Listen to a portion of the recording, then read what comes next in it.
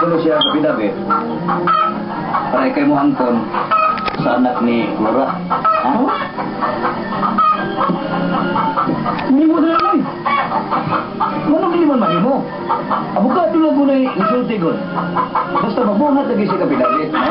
Imong pirmahan sa pagpamatuod na ikay amahan sa iyang anak. Siya mo tuwang mo sana. Ano rin ko mo to? Ha? Nakanan abogado nga akong gikuha, akong gikontak. Ha? Master ka na niya ka nakiya-kiya. O nakasiguro ko ko. Namudaw bitay ni. Ya. Ako yung kulon nga ako amahan. Kailangan lang yun. Unsa? Og pananglitan ay maapoto si Flora. Unya mo sister gid siya nga dili sa uming mo yaman sa iyang anak. Si Tiboy gid nakimahimo na. Una. Unya ang problema pag diha na eh. Ug dunay makasulti nga dili ako amahan. Kamu ba? Kumukundo ba ba? Lagi mo mga buang. Ganun sa pa na yun ninyo?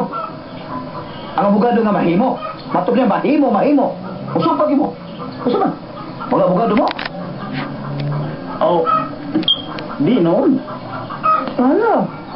Ang kunong ko total, manganday mo sad kung ma maako is flora. Ako na pa.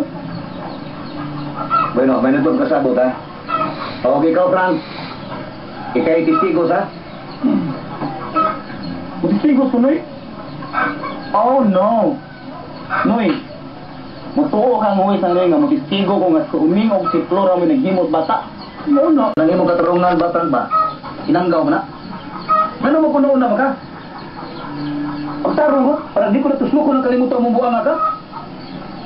Imo ba tuhoon ang huwes nga imo yung nakita nga si Tiboy iyang dikidnap ang anak ni Flora nga namahan si Uming. Di ka imong binuang ang sulting huwes nga nakakita ka pagbuhat bata. Tapos kung nagkalimutan mo buang ka, Ay, ay. Ang nagana ba lang ba? Kaya tingalig di ko niya umpo ang huwis. Ano naman to? Ang huwis na mo na yung sulti. Ayak supat. Una ba ito mo ni Bimbin, di ka supat.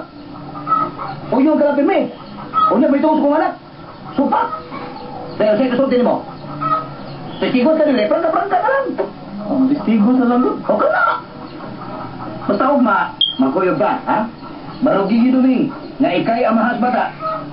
Marugi sad, Bran, nga nakakita ka pag hindap, gitiboy sa anak ni Flora. Ha? O nga, makigatubang ta, ni Atty. Kiko Balintong. Kaya siguro ako niya, nakinig kaso ito, di ka ba Balintong?